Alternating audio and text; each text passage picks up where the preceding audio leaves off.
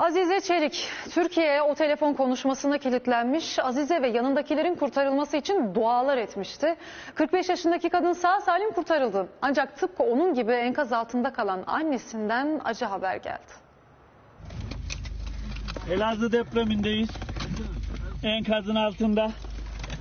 Ankara itfaiyesi Ömer İpek ve Mersin itfaiyesi Aydın Uysal.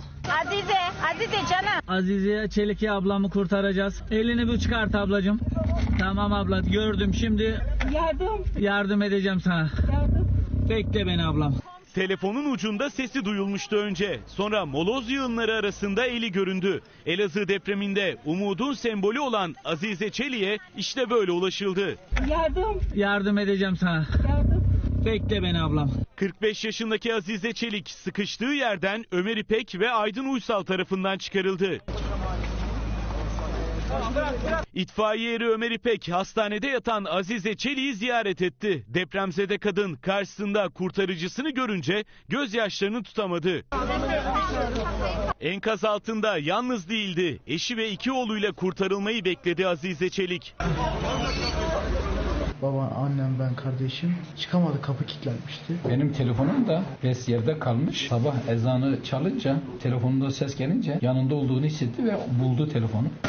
Azize, Azize. Rabbim şükür olsun 13 saat biz orada susuz, e, oksijensiz, aç bir şekilde hani sağlam bir şekilde durduk orada. Azize Çelik eşi ve çocukları hayata tutundu ama annesi kurtarılamadı. Büyük depremin ardından tam 36 saat geçmişti ve saatlerdir enkaz altındaydı. Cansız bedeni çıkartıldı ne yazık ki. Filmlerde yaşanan en kötü senaryoların burada biz gerçeğini yaşıyoruz. Enkaz altında bir yakınını bekliyor. Kur'an-ı Kerim'i ve çantasının çıktığını söyledi. Şu anda da enkaz alanına doğru ilerliyorlar.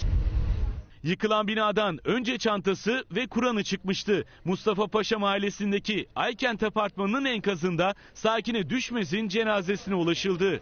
Evet şu anda 70 yaşındaki kadının cansız bedeni çıkartılmış durumda. Ekipler sedye ile Sakine düşmeze ulaşmak için seferber olanlar arasında Şanlıurfa'dan gelen itfaiye erleri de vardı. Onlar da depremi hissetmiş, görevi için Elazığ'a koşmuşlardı. Çoluk çocuğumuzu bıraktık çünkü buradaki kardeşlerimiz bizden daha fazla buralara muhtaçlardı ve biz buralara Allah yardımcıları olsun. Yaşlı kadın Mustafa Paşa mahallesinde enkaz altında kalan son kişiydi. 6.8 büyüklüğündeki depremin ardından tam 39 saat geçti. Ekipler canla başla dondurucu soğuğa rağmen gece gündüz aralıksız çalıştılar.